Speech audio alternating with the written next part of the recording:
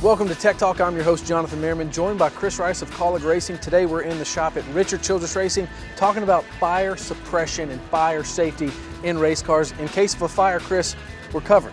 Well, yes, we have to have a 10 pound bottle, which is the big bottle, and we also have to have a five pound bottle. The five pound bottle is for the driver, the 10 pound bottle is for the fuel cell area. Now, we have two different mechanisms of how to activate the fire suppression system. How do those work? Well, absolutely. This part of it goes to the back fuel cell area, and that is where, when it gets a certain temperature, it sets a 10 pound bottle off, puts the fire out.